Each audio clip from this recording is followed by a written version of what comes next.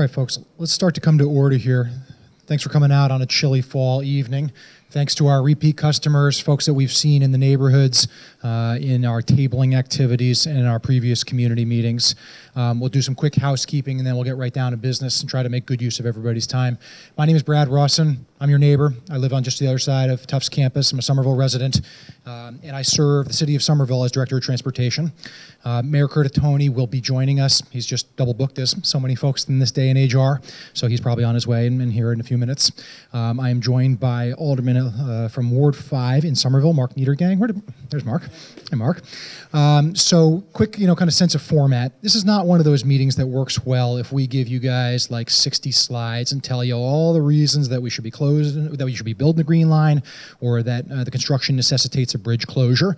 Um, this is painful, and, our posture throughout this process as the City of Somerville has been working with our partners at Mass DOT has been, let's be super honest with our residents and with our stakeholders about how challenging this is going to be um, and the different measures that the city and its partners are trying to put in place to make life during construction as seamless, as easy, as safe, uh, and as kind of viable economically as possible.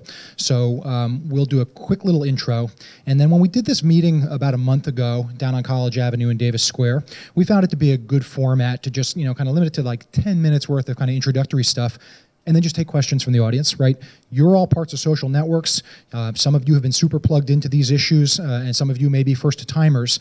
Um, but we thought that it was more important to get your perspective and your questions. And then if questions start getting kind of clustered up, we'll answer them as a batch. We got a bunch of slides, and if somebody's asking about traffic safety, pedestrian or bicycle safety in the neighborhoods, we can spend five or 10 minutes together on those issues.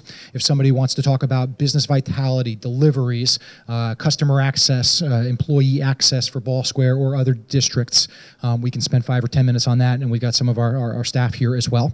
So that's kind of a broad sense. Again, for any of you who were with us a month ago, the content for tonight is largely the same. We've had lots of good participation, lots of good questions, but our goal here has been to provide the same basic information to as many people as possible over the course of about a six month period. So I'll run that down a little bit. But first, before we move in forward, please allow me to introduce one of Somerville's great elected officials, Mark Niedergang, who represents our Ward 5, uh, which is many of the neighborhoods most directly impacted by the Green Line in terms of benefits and burdens of construction. Thanks, Mark, for all your work on these issues. Thanks, Brad. And we have another alderman present, uh, Mary Jo Rossetti. Please stand up, Mary Jo, alderman at large. she was at the previous meeting and uh, has been a presence uh, on this issue. Uh, I, I bring regrets from Lance Davis, the Ward 6 alderman. He's at an important confirmation of appointments committee looking at uh, police and fire department appointments and uh, and promotions. And also Ward 7 Alderman who represents the western end of the city, Katjana Ballantyne. She also sends her regrets. She has two meetings tonight. So I want to welcome you. Thank you for coming. We all have a lot of concerns about this. I just want to start off by sharing with you the main concerns that I have at this point. Uh, just to put them on the record, and I, I, hope to hear your concerns as well, and hopefully uh, our staff and Green Line team folks will be able to respond to them as best they can. And fortunately, we still have three months until the closure, so there's still time to work on these things. Uh, I'm a realist. I'm not looking for things to be solved overnight. These are complicated issues.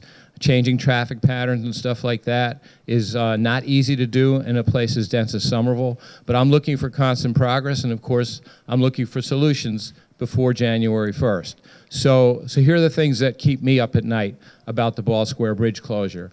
First, uh, there has to be a strong police presence at the intersections of the detour routes. So if you look over there, you see those, the green for Medford and the blue for Somerville. I'm a Somerville official, so I can't affect what they do in Medford, but I want to know that there's going to be a police officer at Morrison Avenue and Cedar Street over there every single morning and evening during rush hour, and Willow Ave as well, and some of the streets over uh, off of College Ave, because people are going to be looking for a way out. It's going to take them an hour, I think, during rush hour to get from Cedar Street and Broadway around that detour route in Somerville to Powder House Boulevard. And you can bet people are going to get frustrated. They're going to want to cut through that neighborhood. And the only way to stop them is with police. Signs will not do it. So I'm looking for a strong police presence, and I'm hoping that the state police, the MBTA police, and the Green Line team will be sending cops our way to enforce those detour routes so people aren't wreaking havoc in our neighborhood, in our Ball Square neighborhood. The second thing I want to see is a shuttle van service around the pedestrian detour and to get bus riders to the relocated bus stops. Some people are going to have to walk a half a mile to their bus stops because of the bus detours. And that's probably the best that can be done. But we can't just leave people to walk a half a mile to their bus if they're elderly or disabled. That's just not right. So we need to provide some kind of a shuttle van service. Uh, whether the, I think the Green Line should pay for it, but if they don't, then I think Somerville and Medford should get together and pay for it. It's not right to keep people, leave people in their homes with no way to go out. Third, we need to have um, traffic calming measures in the neighborhood. So I can't speak for Medford, but in Somerville, I know that Brad and his team just uh, passed uh, safety zones in that whole neighborhood so that the speed limit now will be 20 miles per hour in that whole neighborhood and that will be posted well. That helps a little bit, but what we really need is physical stuff that forces people to slow down because people don't obey signs. We all know that, especially when they're frustrated and you know half an hour late to where they expected to be going. So we need to have traffic calming in that neighborhood. I hope Medford officials are doing the same uh, up north of Broadway in the neighborhood between Winchester Street and Harvard Avenue. And finally, um, you've all probably driven on Cedar Street since the bump outs have been put on there. I know probably many of you hate them. Uh, a lot of people do. I happen to think they're a good idea because they will slow and calm traffic. But with the big vehicles that are now going to be going through, buses and trucks, that was not something that was expected when those were designed three years ago and put into place. So something needs to be done in terms of dealing with Cedar Street. Probably some parking needs to be taken away and there needs to be some kind of a presence when a truck and a bus come up against each other going the opposite direction and neither one of them can move and the traffic's jammed up you know for a half a mile back in either direction somebody's got to be there to unwind it so i don't know what that looks like i don't know what the solution is but many people have told me their concerns about cedar street as a major detour route for the ball square bridge closure I, I don't see an alternative quite frankly so it just means we need to manage it so it works. So those are the things that, that I'm losing sleep over. And I look forward to hearing the things that you're losing sleep over. Awesome. Thanks, Mark. Uh, a couple other quick introductions. So we're joined by several members of the MBTA, the Mass DOT uh, Green Line Extension team. So first, Terry McCarthy is a Deputy Program Manager for Stakeholder Engagement. And again, you know, Terry lives on the South Shore, but he is up here with his home offices in Somerville. He is coming to all our community events. He and his team have been door knocking and flyering just out in the community, trying to get the word out and, and provide customer service to make sure everybody understands what's happening and why. Marty Nee is here from the Green Line team as well. He works with Terry. And Jeff Wagner is here representing Greenline Constructors, and that's the design build entity that won a competitive process to build the $2 billion Greenline extension that we've all been fighting for for 40 plus years. Um, Melissa Dullea is a senior manager for uh, bus operations and service planning at the MBTA, and she's been an amazing partner working on bus issues. Um, a couple other quick housekeeping items. Please. That's my next one, Mark. Thanks. So, um, you know, Mass DOT was smart when they uh, were planning their con- uh, communication uh, communications strategy. They said, let's get some volunteers from the community who are willing to take time out of their busy schedules, come into our offices, vet ideas, but then also set up Facebook pages and block parties, do door knocking in the neighborhoods. So, for each one of the Green Line station areas, we have formal representatives, and they're Somerville, Medford, and Cambridge residents, and they're doing this stuff pro bono. Jennifer Dorson, um, who lives on Roger is Jennifer? Uh, Josephine, right, uh, is your representative for Ball Square, and Ryan Dunn in the back uh, is a representative for Magoun Square. And Ryan, you're over on Alpine, right? Excellent. So, anybody that I miss? Excellent. Okay. So, as I mentioned, folks, we have been uh, trying to leave no stone unturned uh, in terms of electronic, physical, uh, retail, door knocking, handshaking uh, type of opportunities to get folks plugged into these processes. Uh, so here you get a quick sense of you know some of the summertime schedule. We got a million community events and street festivals, and we've been taking advantage. It's actually, a, frankly, a really fun way to get to know people. Um, and the thing that we're trying to ask folks to keep our eyes on the prize is that three short years from now, we're going to be hopping on those trains. Three short years from now, we're going to be walking our dogs and riding our bicycles on the community path extension all the way to Museum of Science. Uh, if there's one thing that we have learned from the first six months of construction, it's that, that this team is moving fast. They are allocating resources, they're trying to work safely and efficiently, and Mass DOT's contract structure has given them all sorts of performance incentives to try to make sure that this is not just another one of those chapters in, in, in the Green Line history where we say, oh gosh, here comes another one year delay, here comes another five year delay. Uh, this team is serious and they are moving fast, and three years from now, those stations are scheduled to open. So everybody always starts the conversation by saying, hey, can't we do what uh, Mass DOT did up on I-93, the Fast 14 project in the city of Medford and elsewhere? Why does this bridge have to close in its entirety versus in portions? Um, so anybody who's uh, ever had the opportunity to kind of look down the, the, the line, uh, here's the view that you see from the future Ball Square station. Dialysis clinic and Hallmark Health uh, off to the uh, east, and Trum Field and Magoun Square, so Broadway heading east towards Winter Hill. And here's Broadway headed west uh, towards Kelly's, towards Ball Square and the Rotary. So, you know, as you can see, the commuter rail, the Lowell line, uh, has required clearances, horizontal clearances and vertical clearances. And in order for the Green Line trolley tracks to be placed in this right of way, those commuter rail tracks have to be moved. They got to be moved 15, 20, 25 feet. Um, and this bridge is simply not wide enough. These abutments have to be fully demolished. The Fast 14 project a few years ago on I-93 was about replacing the deck structures of the bridges. So you get in there with your cranes, you lift it out, and you pop in a prefabricated one. It was a nice piece of civil engineering and a nice piece of cost control and risk control uh, as MassDOT was doing that highway job. This is a completely different type of bridge, and it simply requires a year's worth of heavy excavation and demolition so that ultimately the Green Line trolley tracks are going to be passing through what we think of as this abutment today.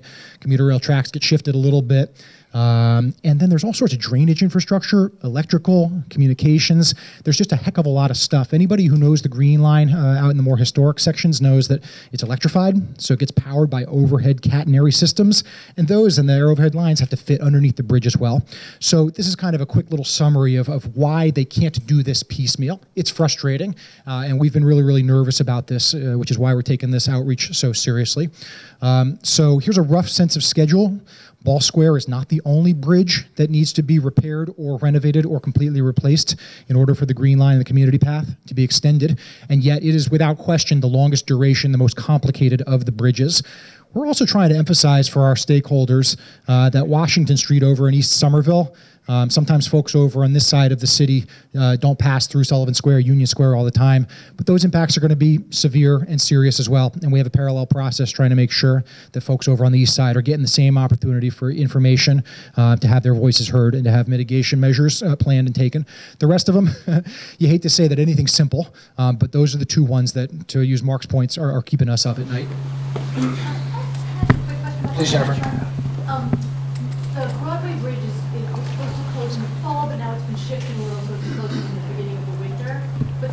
like there might be four bridges closed at one time. Is there any chance that some of those other bridges might also get pushed off one season so that there wouldn't be four closed at one time? You know, um, it's a good question, Jennifer. The way that MassDOT structured the contract is that the design build entity, Greenline Constructors, is able to close multiple bridges at the same time. They're just not able to close adjacent ones. So, for example, Cedar Street could not be closed at the same time as Ball Square. Lowell Street could not be closed at the same time as Cedar Street, uh, and, and, so on and so forth. So it's kind of a little, you know, game of chess as, as they try to figure out which ones can be closed simultaneously without violating that kind of pragmatic public safety and, and mobility imperative in their contract.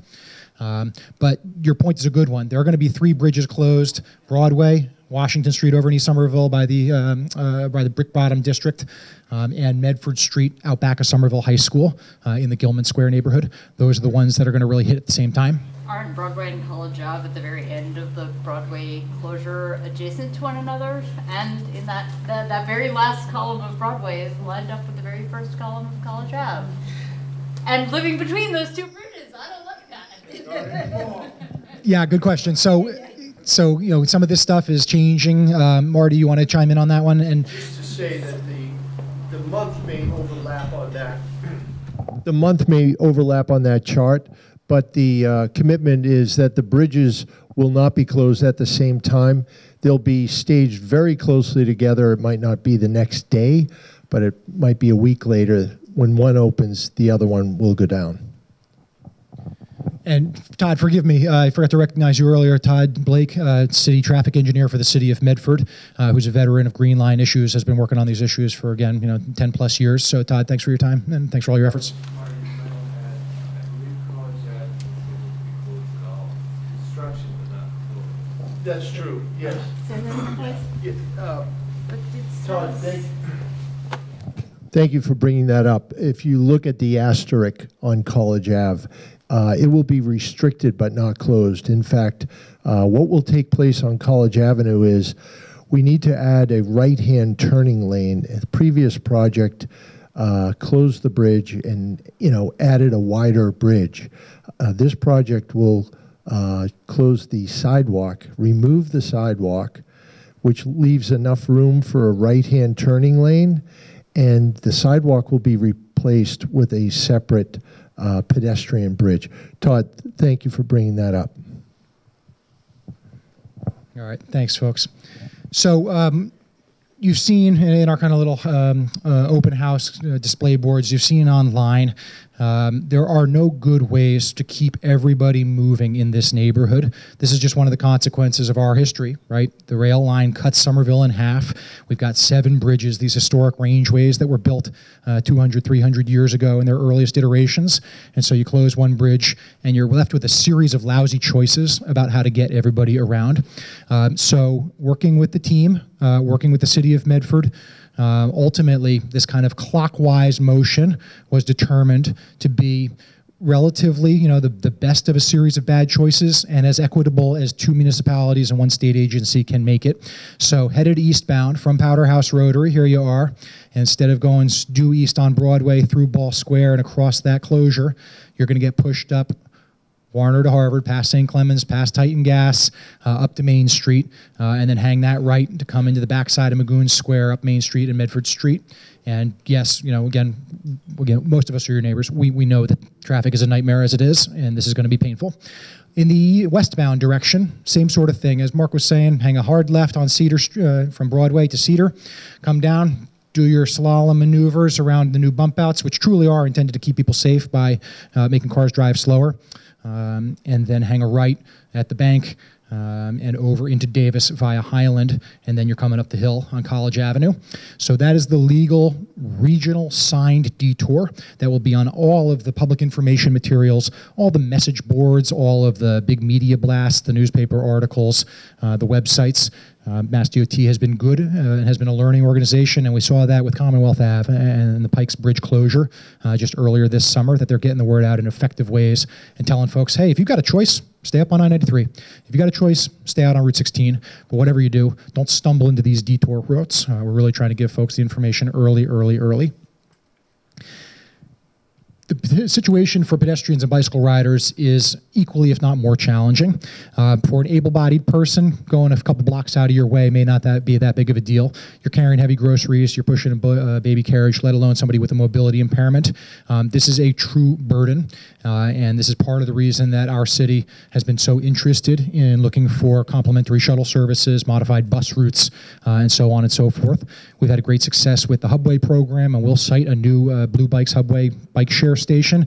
But again, that only works for some people, and we need solutions that work for everybody. So we're in the process of costing out uh, and having conversations with vendors who operate private shuttle services to try to complement and connect folks to the modified MBTA bus routes.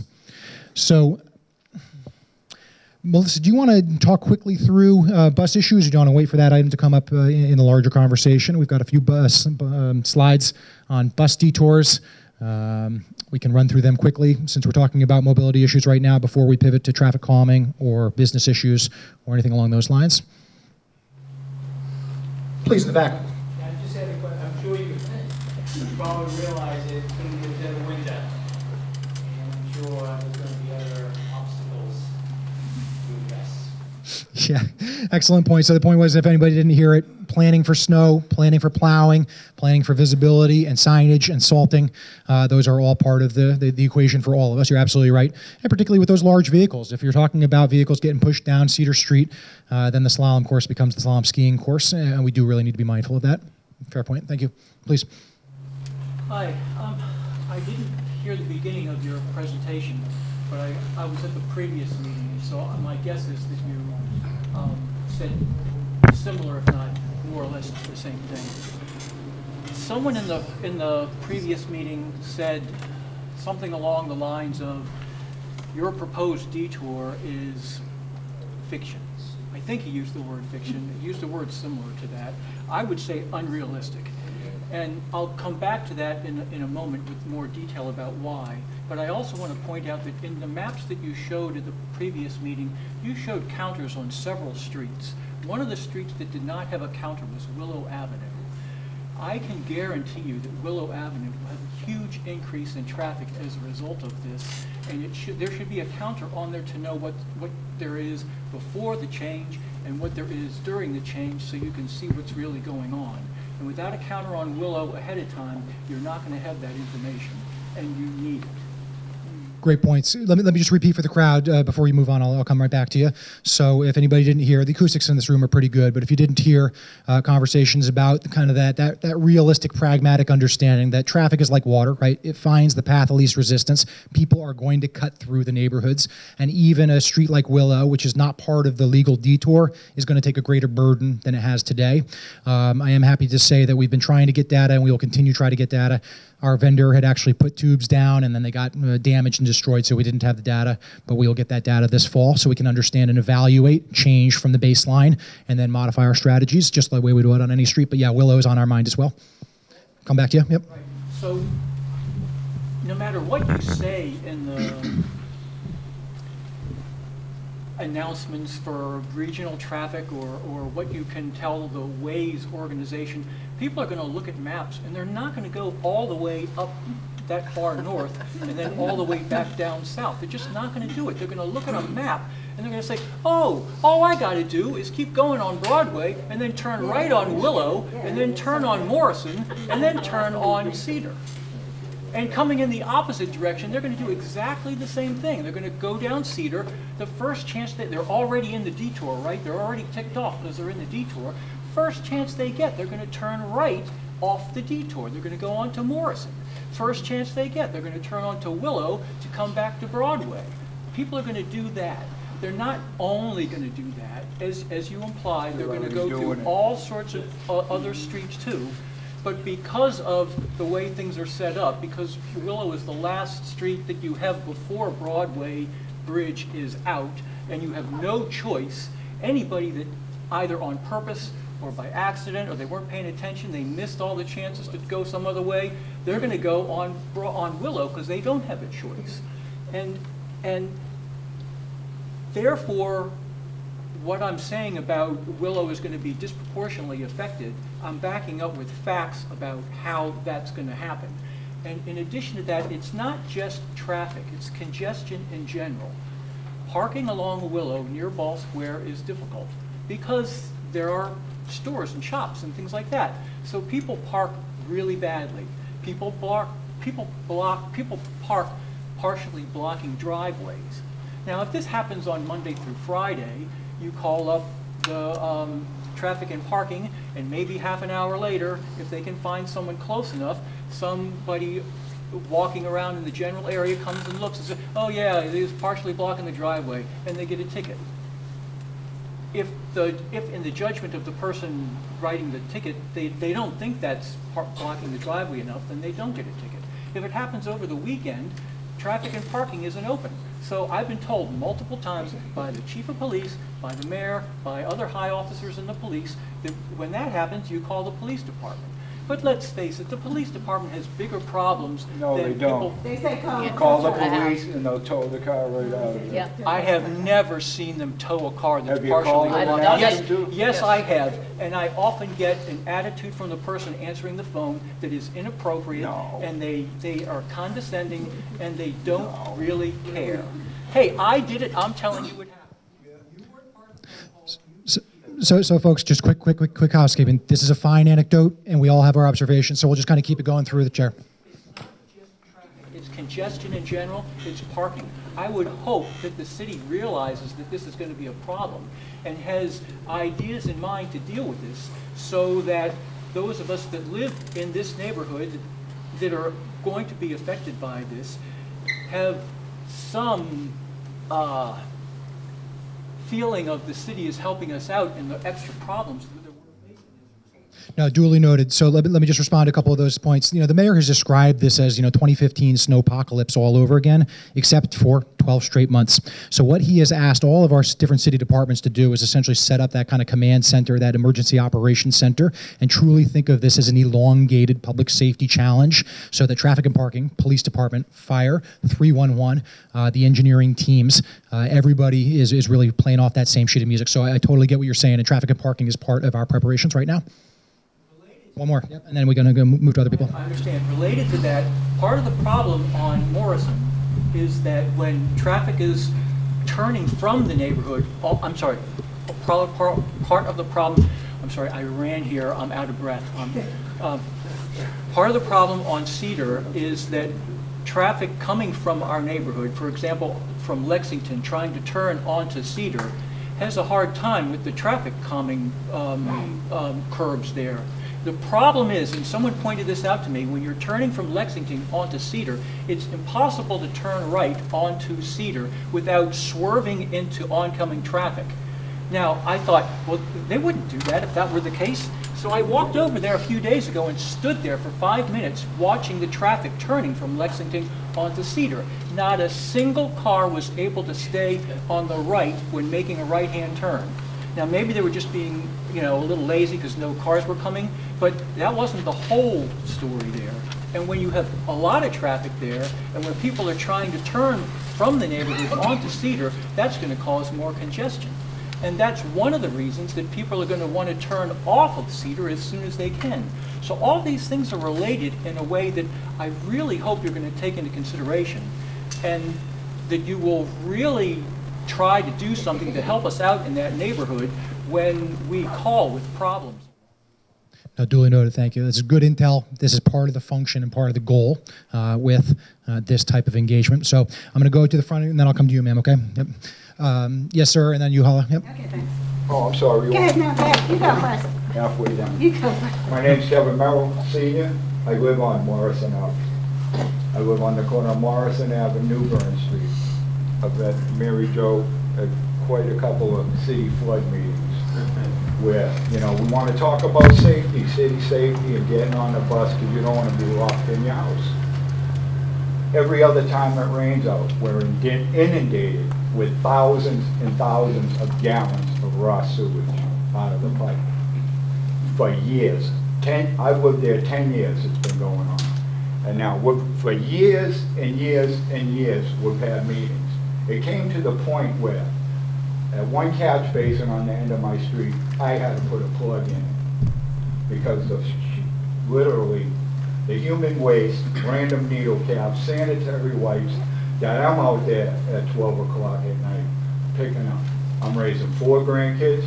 I have a son, an elderly, grown-up son who's slated for open heart surgery. Mass General tells me I shouldn't bring him home now.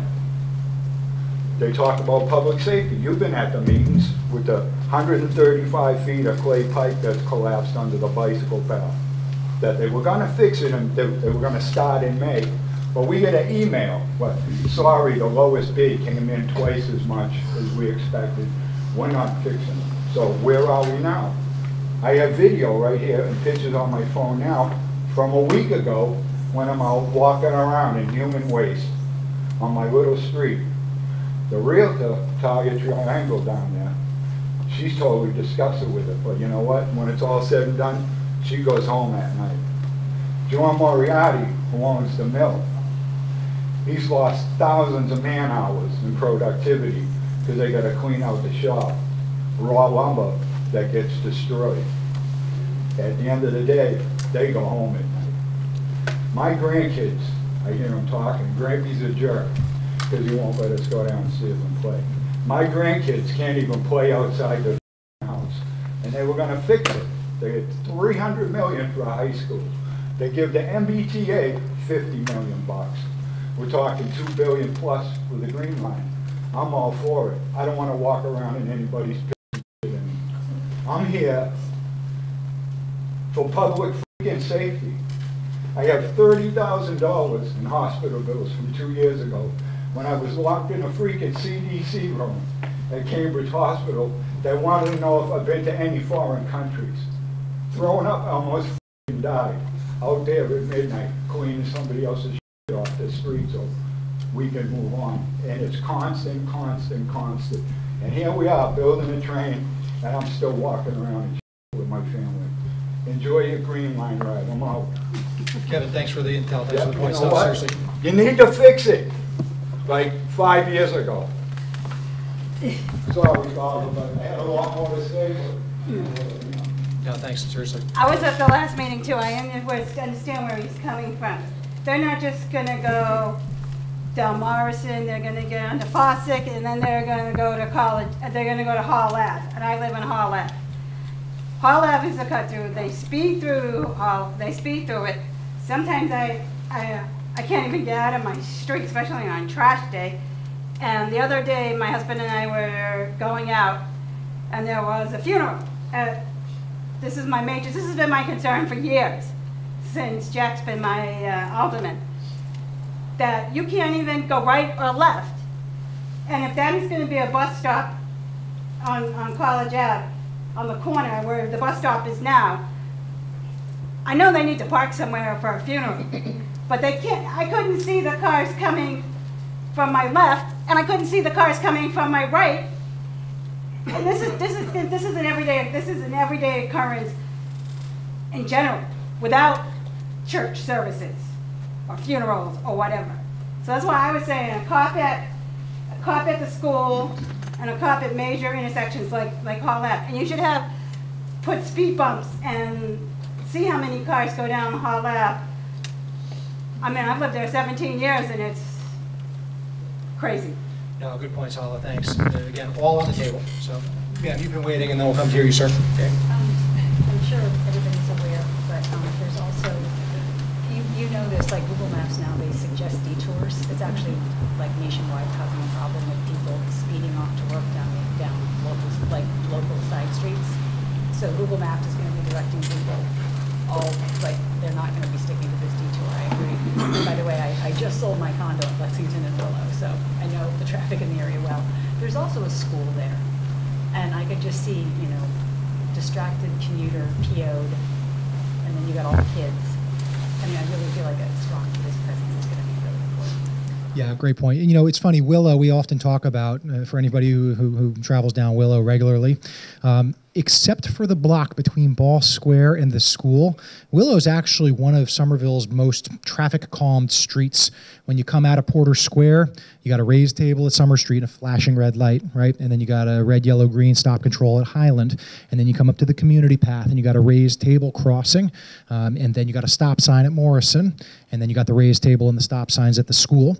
So that's actually the envy of most Somerville north south streets. And we hear from folks all the time who say, why can't Lowell, why can't Central, why can't Walnut or Sycamore have that kind of rhythm of traffic calming? But for me, I hear you loud and clear. That block between Willow, or between uh, the school and Broadway, is the one that actually makes me think because it's a long block and because that's when people are picking up speed coming uh, through that through that traffic signal. So again, Willow is on our mind. Even at the, excuse me, even at the intersection, it's still, it's the, the, the bike path, still pretty bad. They're gonna not know how to stop that. Sir, please. I, I spoke at the, at the last meeting. My name is uh, Kevin Oliver. I live at 125 Boston Avenue, Somerville, Mass. I served in the Ralph administration, four years as superintendent of highways, and almost two years as commissioner of public works. I know these streets by heart, and many of the uh, improvements that were made were made during our administration. This plan is the most ridiculous thing I've ever seen. We cannot have a major square not have buses coming through. That is ridiculous. People have to be able, in the middle of winter, to get a bus and go somewhere. The obvious solution to the problem is as follows. The 89 bus, which is coming from Clarendon Hill, and the 80 bus, which is coming from Ar- Arlington Center, should continue to come to Ball Square. The stop that is in front of the chiropractor should be moved back either to Lyndell's or just before that. then the buses should turn at Willow Avenue. They should continue down Willow Avenue to Highland. They should turn left on Highland Avenue and left on Cedar. It's the only solution to the problem. Now, if the city really wants to do something to uh, alleviate traffic on Morrison and the other streets, the one-way on Willow Avenue coming from Elm Street to Highland should be- be reversed so that there's an outlay of traffic that can go to Cambridge. That's where they want to go. And they'll cut over to Cedar and come down there. But if they go down Willow and straight across to Elm Street, we will eliminate some of the problems in the neighborhood. They're going to do this anyway, no matter how many police we put there. But we need to put police at the Brown School because that's a school. The detour that's going down Warner Street to Harvard Street, most of that traffic goes to the Revere Beach Parkway into 93. People are not going to, uh, when they go down there, if they're planning to go over to Medford Street or something else, they're gonna go down to Winchester Street. We'll have traffic on Winchester Street backed up for a mile. We'll have traffic through Powderhouse Square backed up to Teele Square. We, you, we have to be realistic. I have talked to people on Willow Avenue. Sure, there's gonna be a problem there. But we're closing a major bridge, and we must use the cross streets to get around. What is, why are we doing such crazy things of sending the 80 bus to George Street? Almost over to Mystic Valley Parkway. Are we crazy? Three miles to walk to a- an 80 bus? That's ridiculous. This is crazy, and somebody should do something about it. I've said my piece, this is the second time, and you people do with it. I'm, I'm gonna say one other thing. Ninety percent of the people who are gonna be affected by this change do not come to these meetings. Only ten percent come here. I'm telling you, if you put this plan in, in, in effect, all hell is gonna break loose. And guess what? A municipal election is going to take place shortly after this goes into effect. Well, incumbents, remind yourselves, because people are going to be really upset. And I don't care if they're progressives, Trumpites, or conservatives. They'll vote with their feet, and you will see a million people come out to, that election. So I, you better do something. No, Kevin, in all seriousness, I actually really appreciate that. You described Willow Ave. Melissa and her team have said, what is the best way to get buses around? And they did examinations of Willow. They did examinations of some of the streets in the interior neighborhood. And frankly, part of the function of these types of meetings and all the other block walking and all the tabling that we've done is to try to take the temperature of the neighborhood. And I totally agree, right? We do community meetings all the time. You get 10% of the population. You're absolutely right. Plenty of people who have a stake in these issues are not coming out and not raising their hands, uh, and that's okay. It's on us then to make sure we're bringing the message to them, and that's part of the value of door knocking and tabling. So, one of the consequences of putting a bus onto a Willow Ave, which may be the path of least resistance and the most attractive from the T's standpoint, is that parking would probably have to go away. These are the types of community conversations we should be having in a respectful, in an adult, in a civil fashion, and try to take those straw polls and make us make a make sure that folks on the block are saying, "Hey, are you okay with giving up curbside parking in front of your house for a year in order for that bus to get through, whether it's Cedar, whether it's Willow, uh, whether it's Highland Road?"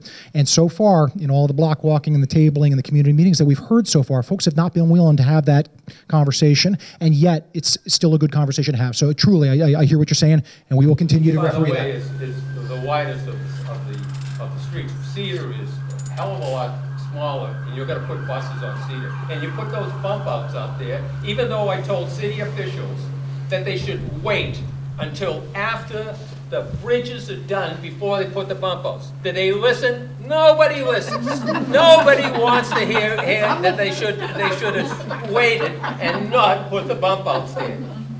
Ridiculous. I mean, absolutely ridiculous. All hell's gonna break loose, I know that. Thanks, Joe. You've been waiting, please. Yep.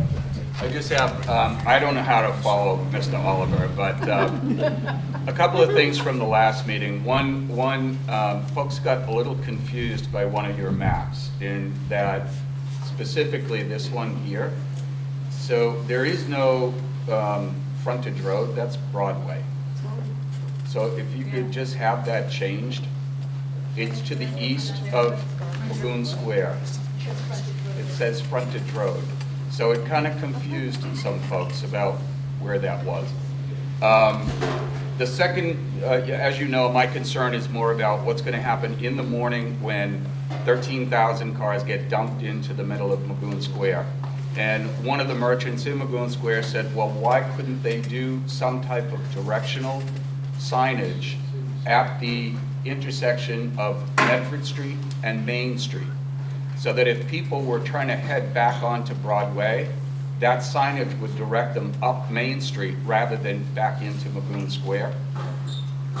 Conversely, the traffic coming home at night, heading in a westbound direction, I, I, I don't, I'm not a traffic engineer, but I can tell you, just by the little bump that we've had on Broadway with the electrical work that's oh, going on, that traffic backs up from Magoun Square into Ball Square and you know I've posted pictures of it. So that, that's what to expect. But why not have some directional signage where Main Street and Broadway meet, saying Medford this way, rather than directing it all down to Broadway to Cedar Street? Okay? Great point, Joe. Thanks. And, you know, again, sometimes we forget that not everybody knows exactly where the boundary is, but I think probably most folks know that that is in the city of Medford. And fortunately, we've got a great dialogue with Todd and with Mayor Burke and their entire team. Todd, you guys have a project going on at that corner there by the park and the old school, right? Main and Medford and, uh, and, the, and, the, and the fire station? Yeah, Tufts Square, we have Complete Streets project sometime in the same. Yeah, the city of Medford has a complete streets project in Tufts Square, and it overlaps with this project, but the complete streets project is scheduled for only three months of construction, and it won't close any streets. You'll be able to still get by in either direction. So that's in this square right here near the Tufts Pool, where Main and Medford meet. And that should create an opportunity for the kind of directional signage to help motorists, help everybody understand where they're going, like Joe's mentioning. If you're doing construction sidewalks, you can put your signs in. Yeah, I think we. I mean, one thing Brad's done a great job, but one thing um, we've said before is, you know, this is the sign detour plan, but there's also going to be a media outreach and regional signs at Route 16, all the major roadways coming northwest, uh, northwest of Somerville and Medford alike. So, the the idea is to catch as many people as possible from the northwest that come off 93 and cut through both cities before they even get to this point. And then this is for those who are left still trying to get through. So Yeah, please, Jennifer. So, as I've been listening to the conversation, I was thinking about the, the description you gave of Willow Avenue with all the various efforts to calm the traffic down, which I sort of hadn't put all those together. And I think, you know, as I talk to people in my neighborhood, as you said, I live on Josephine Avenue, I don't, it, the, calming is one thing, and the gridlock that people fear is another thing. And so I'm curious to hear you speak a little bit to typically when there's construction, you have one detour. Please go this way to get around an obstacle. It, I'm wondering, it's probably too late, but is it possible to disperse traffic rather than try to consolidate traffic? Because I'm concerned that there are, there are a number of people that I've spoken to on, or heard from on Highland Road, for example, who don't want buses, or don't want that to be one of the main cut-throughs. And I respect that opinion, I'm right parallel to that. I don't want a lot of traffic, but I also don't want to be every, nobody wants to be in gridlock, even if a few people don't want or would prefer not to have buses. So I'm trying to think about how traffic can be dispersed so everybody can keep moving at some pace and not have a total gridlock situation that's been described by some others.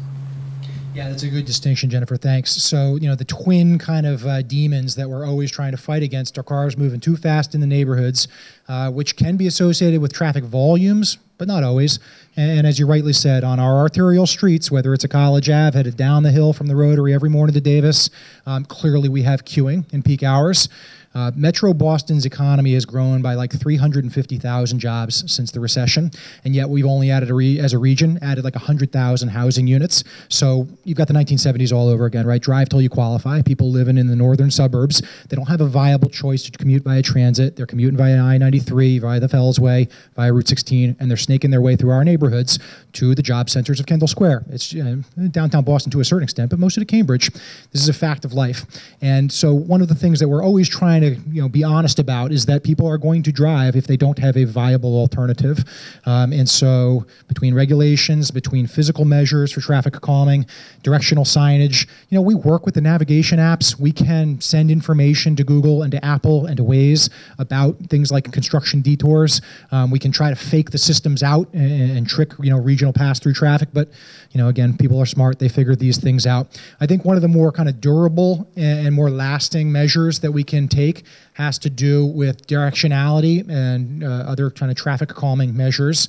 Um, so, you know, here down in Davis Square, um, I know again you're going to find uh, 50 people who like what we've done over the summer and 50 people who don't like it. The city of Somerville went in in anticipation of that arterial congestion and thinking that more and more vehicles are being pumped through Davis Square. And we said, you know what, let's use this as an opportunity to test a new signal timing pattern. Let's actually change the electronics.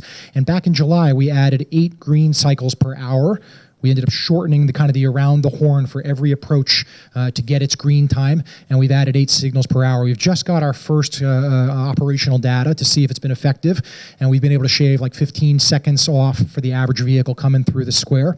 So this is a modest but still an important uh, improvement in terms of mobility for the neighborhood. Cedar Street is you know another obvious one. One of our engineers was out there with GLX constructors just the other day, peering into the uh, Mayor Ralph's administration traffic signal equipment that sometimes is out. You know, we've we've truly got 1970s uh, electronics at many of our signalized intersections.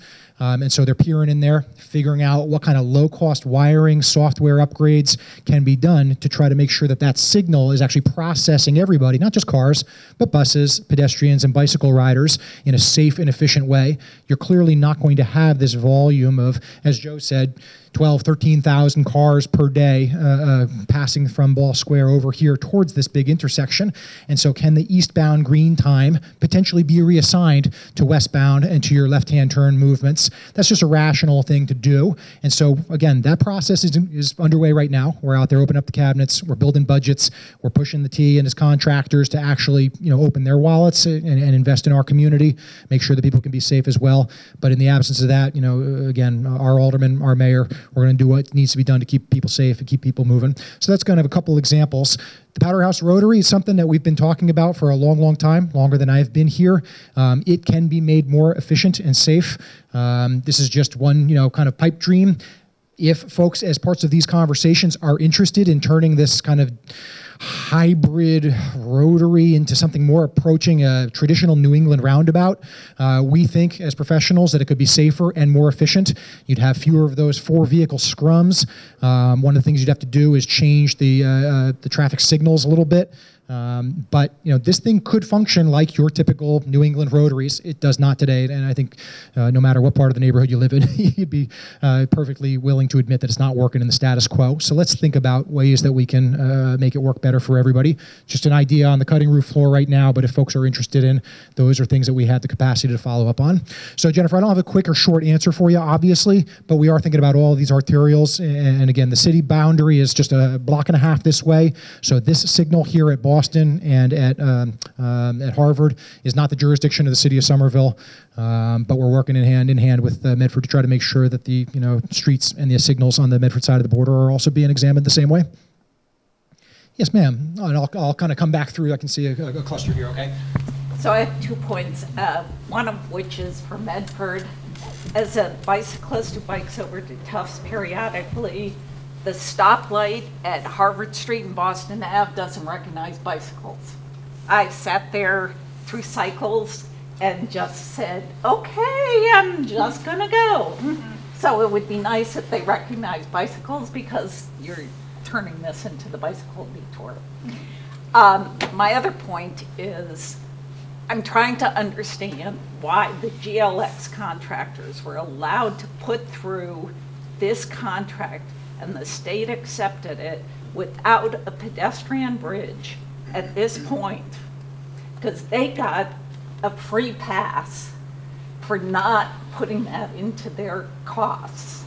And the cost is now being borne by both cities instead of by the people who are doing the work on this.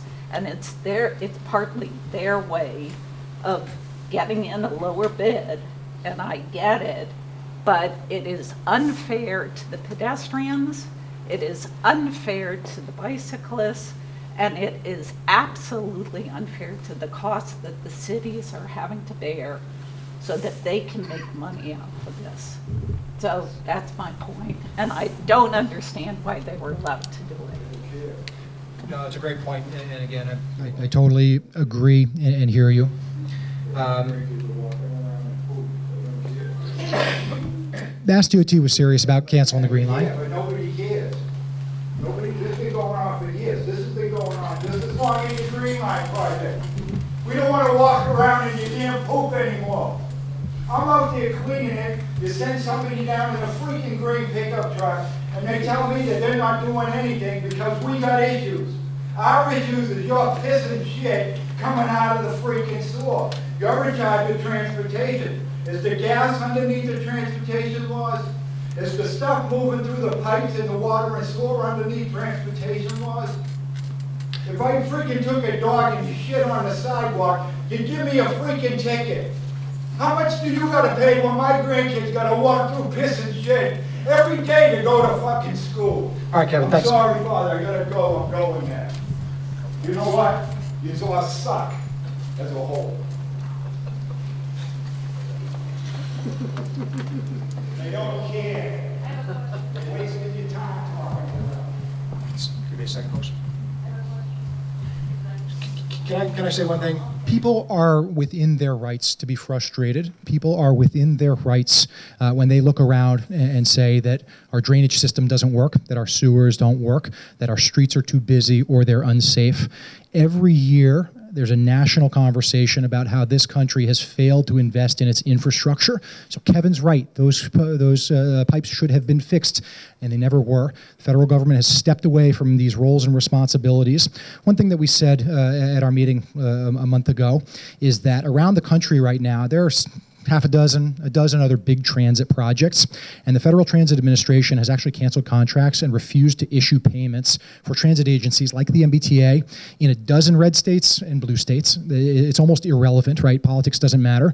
People are actually, uh, once again, kicking the can down the road.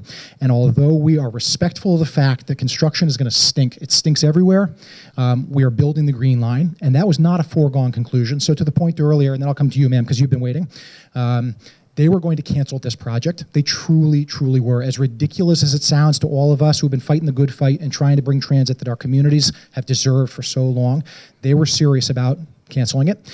And allowing this bridge to be closed was one way, to your point, that they were able to control risk, and control pricing, and actually get things far enough along the lines that the current FTA couldn't pull the rug out from under them. So I just want folks to have that perspective that you have a bunch of empathetic and sympathetic people in all of our city governments and in the state agencies as well. Um, and we are truly trying to work through processes that allow us to have toilets that flush uh, and streets that are safe for our kids. Okay? Yes, ma'am. Carol Galoni, I live on St. Clements Road, which, by the way, is not even noted on your maps. It's nameless. Sorry, say again, Carl. St. Clements. Road, which is nameless on your maps. Um, I, today, I had to go to work, so I usually go up Boston Ave and over the bridge, but because of the problems up at Magoun Square, I decided to take the detour and go down Harvard to Main. And this was about seven thirty in the morning, and it was okay until I got onto Main Street up near Magoun Square. And then I got stuck, and I was about the tenth car back, and I had to wait three light cycles to get through to cross over Broadway into Magoun Square. So this is without all of this happening, so I think we need to look at the timing of the cycles of the traffic up there and also how you're gonna handle that. The other concern I have is living in South Medford, our, our fire station is down in Tufts Park.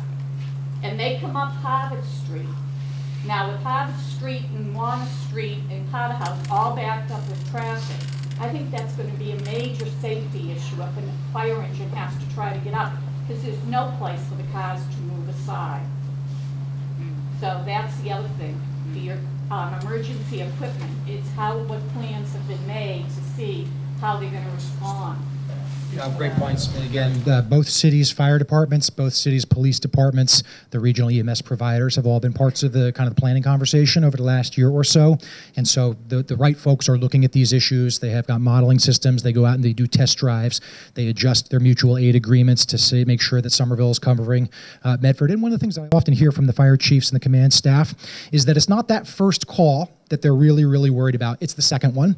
So if a responding unit comes out of uh, South Medford to lend a hand across the border in Somerville, what happens when the next call comes in and then that group is on the far side of the detour and jammed up? So there's almost a domino effect, and the regional chiefs are working through that. Terry and his team have regular meetings to make sure that the city of Boston, town of Arlington, uh, units in all parts of Somerville and Medford are, again, playing off that same sheet of music and planning effectively. So there's a process underway. They don't have all the answers yet, but folks are working on. So I hear you loud and clear. And on the Magoun Square cycle, um, one of the happy uh, consequences here of our 2009 intersection reconstruction uh, that we worked on is we've actually got modern equipment there. A little easier to update that timing than the Cedar uh, and the Broadway example that I was kind of joking about before. So yes, all that is part of our process. Um, I'm going to jump to the back and then I'll come back to you, sir. Okay, there's a woman who's waiting back here. Yes, please. I have a quick clarifying question. So I've seen a lot of maps here and in front of the presentation uh, that was online from the last meeting, and I've also heard a lot of names from folks in terms of streets, in terms of where the actual detours are going to be. Is this final? It says draft. And if it's not final, when is it going to be made final, and how do we find out sort of what things are? Yeah, a great question. So they are, have been stamping it draft for all their public information materials as you know information continues to kind of come in.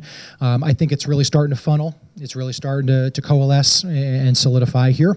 So I think for our planning purposes, when we think about regional travel, uh, this is more or less uh, what you can expect our mayor has asked us to make sure that we have a data collection framework in place that we're going out and we're collecting data and if all of a sudden there's a spike in traffic or a spike in travel speeds or a spike in uh, congestion approaching a signal that we have something approaching live time information and, and yeah you know this is not a, a, science fiction movie we'll never have that um, but we can have week to week and month to month information so that we can get out again open up that cabinet adjust a signal get in there with some paint or some plastic bollards and change a turning geometry to slow cars down as they slingshot into one of our neighborhoods. Um, so we do uh, truly intend to be iterative and, and to kind of learn as we go. We're going to put measures in place. Uh, some of that is underway already, as I mentioned, um, but that process will not stop because people will learn. People will adjust their behaviors. Okay? And forgive me, sir, I'll come right back to you. This woman has been waiting for even longer. I apologize. We talked a lot about cars. What about buses?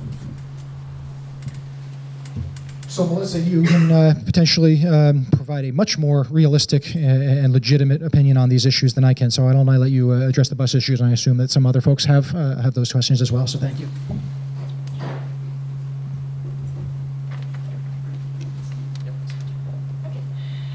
Thanks for the question, and thanks for the earlier comments that we were hearing from a number of different speakers about the bus detours. This, uh, just to start out with, I wanted to give a little background about how we're figuring out where the detour routes uh, should be going.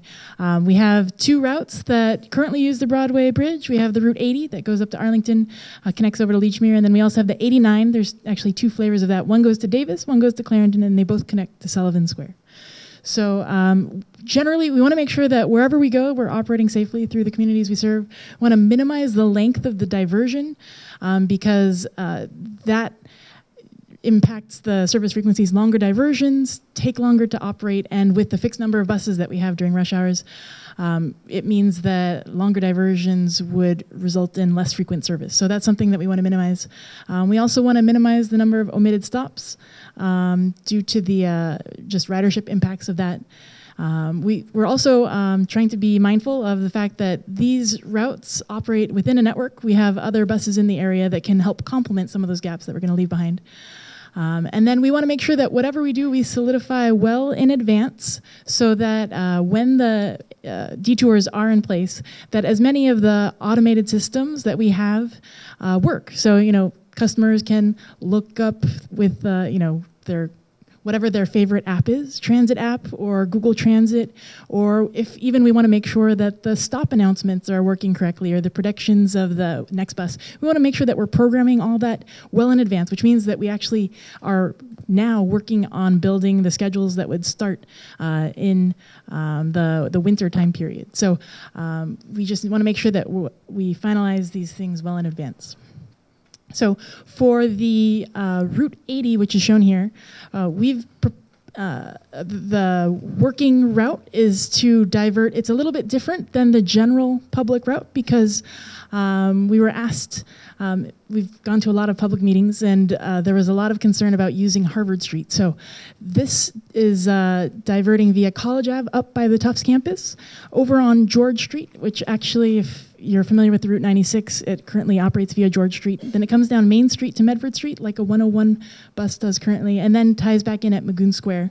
So we would be um, serving the existing Route 101 stops along uh, Main Street and Medford. We'd actually propose uh, putting in a temporary bus stop right at Magoun Square by the CVS. Uh, there's already one across the street from the CVS. So this makes up for the uh, omitted bus stop um, on um, Broadway right at Magoun Square. So the, the, the one big drawback of this route is it's about a half mile for people who are at Powderhouse Square to get up to uh, Main Street and Medford Street. So that's one of the things we just couldn't find another way to provide that service. Though we do have the Route 94 and 96 uh, bus routes that currently do serve the Powderhouse area. So uh, we're fully expecting that for some people, you know, if walking a half mile up to Medford and Main is problematic, there actually are other options. You know, people can connect down to Davis Square, take the 87 or 88, which for folks who are connecting, many of the 80 riders are just trying to get to Lechmere because maybe they work at Lechmere or near Science Park um, are on that side of the city of Boston. So um, for some Route 80 riders, especially near the Powderhouse area, the Route 80 might not be your best option. You may be better off trying to take an 87 or an 88 from Davis. So that's just uh, one of the things that we're looking at uh, with this route in particular. For the 89, we again we have two different versions. Um, one goes to Davis and one continues on to Clarendon. Um, we're going to be diverting down Cedar Street through the obstacle course has been uh, described earlier. And by the way, I totally agree with what uh, one of the earlier speakers had mentioned about the uh, the center line on Cedar Street, right at uh, Lexington. The it's awkward, and we've totally pointed that out. And hopefully, with the uh, final paving, we can work on getting that center line. Um, so not just to make it easier for vehicles to turn from Lexington onto Cedar, but also for buses to not cross that center line as we're just trying to continue in a straight line on Cedar. So that's something that uh, I just wanted to um, underscore that had been mentioned earlier. Uh, but the, the Route 89 coming from the Winter Hill area would divert um, right over by Trum Field down Cedar Street, turn right onto Highland Ave, go to Davis Square, and then it would either terminate there or if it's continuing on to Clarendon, uh, it would use Holland Street to get up to Teele Square and Clarendon. Um, this actually, if you're coming from the Winter Hill area, it's actually um, it's, it's, it's actually giving more red line connectivity for Winter Hill residents um, because instead of having only half of their 89s connect to the red line, um, it means that all the 89s now connect to the red line. So um, there's sort of a silver lining if you're coming from the Winter Hill area. Um, but it does mean that we're, again, omitting many of the bus stops that are around the Powderhouse and Ball Square area. So um, just as uh, I had mentioned on the 80, um, for some folks, it would either consist of you know walking over to Davis if that's an option, or using the 94, 96 to connect from the Powderhouse area down to Davis, where uh, folks could either connect to the Red Line or to the uh, diverted 89 service. So that is the uh, state of the bus options. As I mentioned, because we're trying to program as many of these into our automated scheduling system so that the stop announcements and the predictions and the next bus announcements all work, that means that this is what we are building in our um, databases right now for uh, implementation for the winter rating. I think, I don't remember what that is. That's the main gist of it. We can skip through, those are older, older slides. Okay, thanks. Any follow-up uh, bus questions, we can certainly you know, continue having this conversation, folks. I don't really have a follow-up question, but I do want to say that it's really disappointing that there's basically no service to Ball Square since the whole point of removing the bus is to give public transportation to Ball Square. So there will be no public transportation to Ball Square for a year. And clearly there's a need, or we wouldn't be getting the green line. And it seems like there's, there's a disconnect. Uh, you- Again, your, your points are spot on. This is part of the reason that the city has been contemplating, you know, engaging with a private shuttle provider to try to do those connections. And that's not ideal either, right? The idea of a transfer, whether you're riding two buses or whether you're riding a Tufts Joey shuttle uh, and then connecting to one of your typical MBTA bus routes, is not ideal either. But recognizing that this neighborhood uh, is not very well served by those lousy choices that we're all forced to make. Um, this is a conversation that is uh, on, you know, ongoing right now. We're trying to cost this out and understand what it would take to get it in place for, for a year. And there's, I mean, like, and I'm young and I can walk, but it's also, it's gonna be winter, it's gonna be icy. And there's a lot of businesses that are gonna lose traffic and public transit, and that's, that's lousy for everybody. Awesome points, awesome points. Sure, you've been waiting.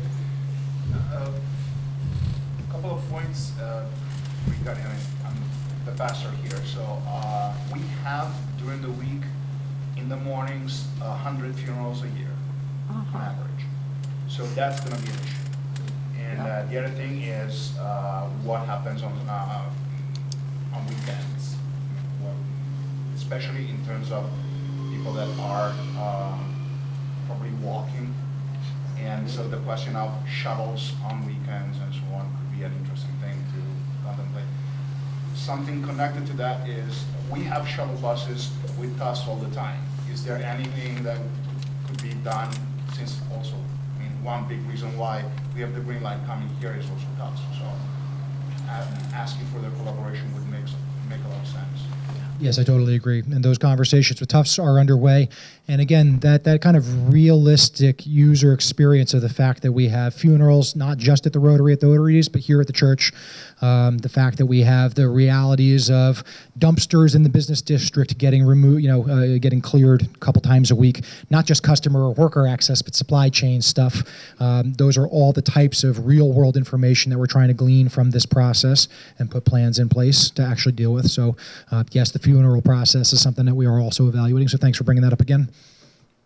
Folks in the back have been waiting. I'm going to jump in the back. Uh, you folks have been waiting, then we'll kind of come around the corner and, and come back in the, the front again, please. As a resident of Sixth Street, a lot of Sixth Street, uh, since 1988, uh, I can't help but want to appreciate, on one hand, that okay, fine, we're improving the MTA, that's great, we're gonna have their cost of that some increase.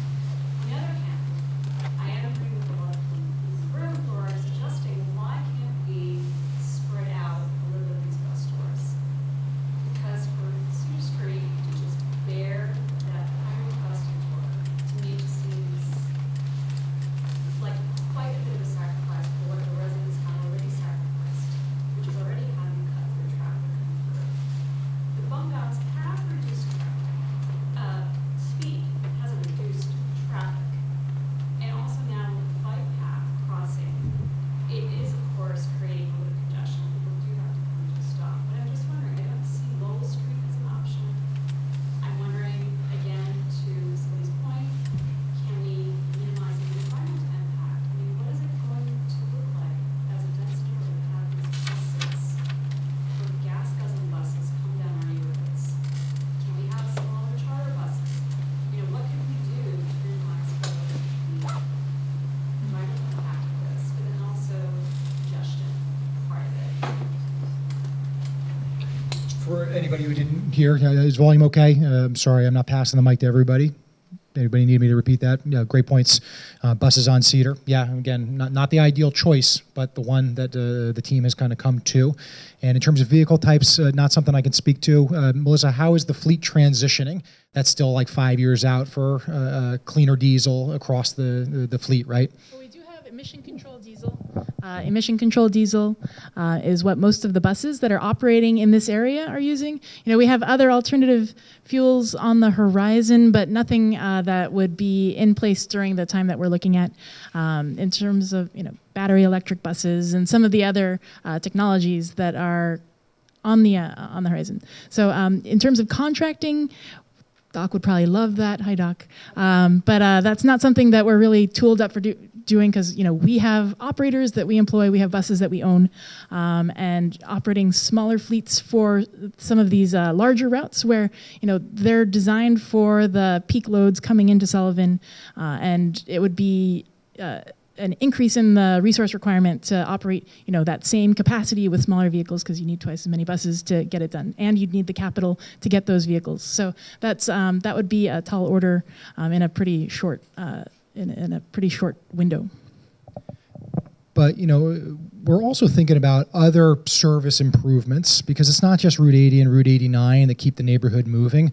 So, you know, Melissa is probably getting tired of hearing the city of Somerville talk about Route 95 and its future, Route 90 and its future. Um, we've been collaborating with Service Planning Group as part of their Better Bus project. Um, they're, you know, once every, you know, seven, eight years service plan update and flagged some of these opportunities. And we've said, hey, with these closures coming, uh, this seems like an important moment for all of us to be focused on what is the future of Route 90, um, where you know arguably it reaches three redundant orange line stations on the eastern end. And because it loses 20 minutes between Sullivan and Wellington via assembly, uh, it runs on a 45 minute headway. You know, folks who have been to our meetings, uh, you know, recall this story. Um, if you were to eliminate one or both of those redundant orange line sections, you could take the same number of buses, same number of operators, shorten the route, and maybe start to achieve a 25 minute, you know, frequency a headway on Route 90 and create a red to orange shuttle that provides a, a much more, you know, important kind of relief valve for Highland Ave and gets more people who have, you know, maybe the choice to drive and are driving out of convenience, give them an extra incentive to ride the bus. Um, transit agency after transit agency around the country is kind of taking a beating in terms of ridership. Um, the Uber and Lyft revolution is, is, a part of that story. The drive till you qualify housing crisis is a part of that uh, story. Um, and so municipalities are increasingly having, uh, I think, pretty adult conversations with transit providers and you know, our favorite story in Metro Boston is actually not Roslindale. You know, credit to the city of Boston, but we love the story of the city of Everett and Davis Square resident Jay Monty, who's one of our counterparts who worked with Mayor DeMaria to get this dedicated lane facility on Broadway from Glendale Square down to Sullivan Square. And you know, Route 99 in Everett is a kind of a unique case. It's probably what Melissa three or four times the number of bus riders. I think a dozen bus routes use it, and something like 13,000 riders per day are using Broadway in Everett. But the thing that's been cool has been picked up by the national media, and again, Boston, Somerville, Cambridge, Arlington, we're all trying to ride Everett's coattails now. We're proposing very, very similar things. That if moving people is more important than on-street parking, and it's not in every case, but in, in, in a place like Broadway and in Everett sure was, um, you can get 10 times the efficiency by providing dedicated lanes for buses. So we're having these types of conversations about what roles can the municipalities play through advocacy, through regulations, through signal upgrades, priority for buses to keep folks moving. Because we know that if buses are running on a 65% on-time performance, then how can you expect folks to, to, to actually, you know, if they have the choice, they're probably going to make another choice, uh, and we're trying to do our part. So I, I hear you loud and clear, uh, and it's a broader ecosystem of bus issues that we're trying to work through right now. Uh, related, uh, I live on Cedar Street as well, specific to the bus issue. Um, did you mention that parking is going to have to go away on Cedar Street for the, the two-way? There will still remain parallel parking on Cedar Street. Buses and fire trucks are going to be going. Yes, yeah, yeah. The evaluation to date has shown that. There's a couple of spaces up by the corner of Highland Ave uh, that probably need to change in order for larger vehicles to make those turns. But that's a pretty modest change. My the second part of that question is, can you guarantee us that south side of Cedar Street from Highland down is going to be wrapped up before this starts? Because that backup at that, when that, when Cedar Street's closed up there, it's impossible. So is that going to be done? Can that light cycle be timed out a little bit longer. Yeah, the, the- short answer to both is, is yes. I was uh, at the corner on the weekend, and I know that folks who live in the neighborhood saw the construction crews out with EverSource Gas uh, doing the work over the weekend. Um, so we're, we're doing everything to take advantage of the fall season, button things up, get it clean, get it safe, get it ready. Yes, ma'am, and then I'll come to you, sir. Just another question about Cedar. From, from Highland to Broadway, it's pretty like bumpy right now because they haven't repaved since doing the bump up. Is that gonna get repaved before? Yes, it will. Uh, probably less than a month from now. Yes, sir. Doc Daly, 94 Pritchard Ave, right outside of Ball Square. My I'm gonna shift gears here and and jump on the construction people. Why is it taking a year to do this project? Why can't you just aggravate us for six months, accelerate the project, build half the bridge and open half the street, one way in the morning, one way in the afternoon? A year seems like a hell of a long time to tear up a small bridge like that. So if you could just try to explain that to me. Uh, Jeff, Terry, Marty, you guys want to talk about the bridge methodology? I provided kind of a brief summary of it earlier, but uh, you folks can do a better job, I'm sure.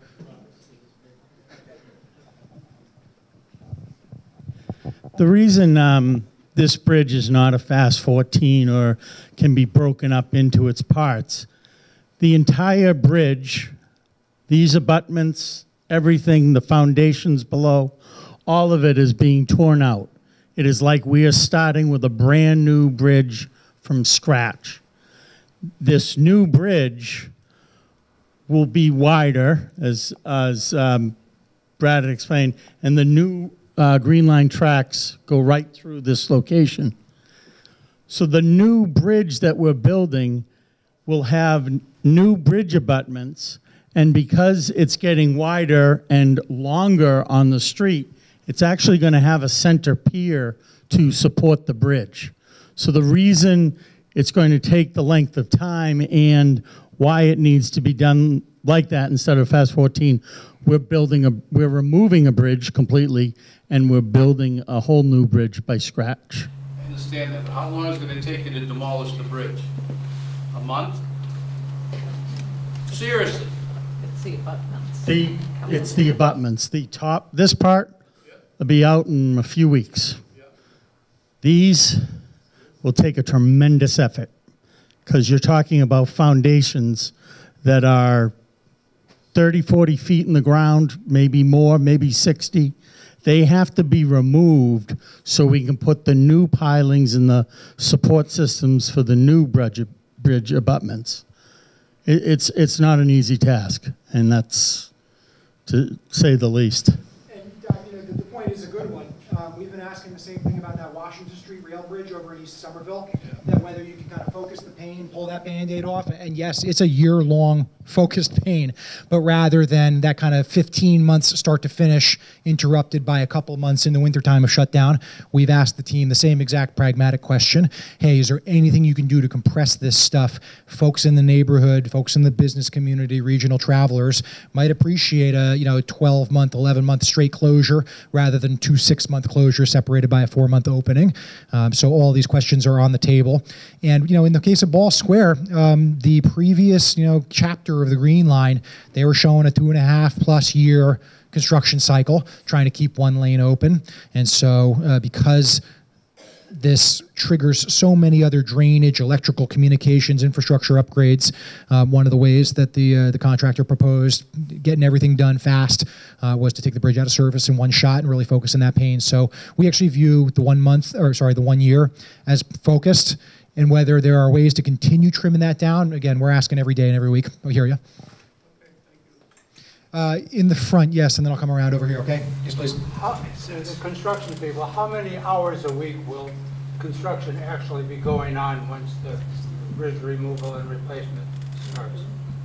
Uh, the question was how many hours per week. Uh, Jeff, do you want to uh, chime in on that one? Sure, we'll likely, I mean, we'll, uh, there are some limitations because of active rail going on, but we will be out there, if not throughout the week, on weekends, any opportunity for stoppage that we can get out there. So we, we definitely know the sensitivities about having the, the bridge closed, so we, you will see activity out there. Talking More than 40, more than 80? Oh, 20, but their work sorry twenty-four seven. It, it is intended to do the work um, with day shift work, night shift work that's appropriate. Um, we are planning our um, outages of the commuter rail to uh, work through the weekends. Um, it, it's not a 40 hour a week job at all. Yeah, again, I was riding the path over the weekend with my little guy and saw the crews out and about. Um, they're looking for every opportunity with good weather and with those commuter rail closures. That's one of the important things that, you know, again, we need to continue to communicate to neighbors uh, is that it is a, unsafe, scary, and inefficient uh, to be working in the corridor when those trains are you know 10 feet away from you. Uh, you really want to achieve a shift in the tracks, which is part of the reason that they've been you know working like busy beavers, getting uh, the hill slopes cleared and grubbed. It is so painful to all of us who have been working on environmental issues to see the tree clearing that has occurred, and yet that is necessary to turn those 45 degree hill slopes into 90 degree retaining walls, essentially, to create extra space for the green line tracks and for the commuter rail tracks, as well as the, the retaining walls, one of which is going to hold the community path extension. So yeah, what you guys have, what, 40, 50 people in the corridor at any one given time right now, Terry? And uh, they've talked about forecasting uh, four or 500 workers in the rail corridor six to 12 months from now. So it's going to get, it's going to get quite busy. Um, let's see, I was here, uh, and then I was going to go back, and I'll come to you, Judy, and I'll come to you, sir. So let me go one, two, three. Yes, sir. Frank Galone, I live right across the street. In the morning, seven to nine thirty, from Powderhouse Boulevard to Mystic Ave, will take you forty-five minutes, a half hour to 40, 45 minutes. Coming home, four thirty to six thirty, could take you an hour from Mr. Middlesex at Main Street, just Main Street. Plus, in the last two years, I don't know what's happened to the Harvard Street Bridge, it floods every rainstorm. Just the other day, it was closed all day. What did it rain, an hour? It flooded, you couldn't use it. So you're gonna have traffic going from Warner down to Harvard. And then you have a casino coming in. So where are you gonna put all your traffic? The city of Medford has no idea what they're gonna do at Wellington Circle. They don't know what they're gonna do at Middlesex Ave over in the Medford Malden line. And you're gonna put more traffic down there. And if you say it takes a year, I can tell you, it'll be a year and a half. No, fair, point- fair points all. One of many reasons we were asking hard questions about the casino during its permitting process and felt like we didn't get satisfaction in some of those questions about a real traffic management plan. Um, But, sir, you, and then we'll come over here, Judy, and then you, sir. Uh, yeah, I'm thrilled to have the green line finally come through. Um, but I, I have two concerns. One, uh, those bump outs on Cedar Street. Can you remove them between now and the beginning of the project? I don't see, once we get our first snow, how are trucks and vehicles gonna get through there? I just don't see it. Um, my second question is, I think at the beginning, I heard someone mention that, um, there's a concern about traffic being spread all through that neighborhood, and I live in that neighborhood. And I heard there was gonna be a police officer placed at Morrison. How is that gonna work? Could you do that at all the other side streets? I've heard Hall Street, I mean, Highland Road, I mean, Boston Ave, I mean, Lexington Ave. Is there a way to manage the traffic so that suddenly, you know, all the apps like Google and Waze aren't sending everyone through there, which is what's gonna happen? So what does that look like if the police are there? Are there gonna be barriers?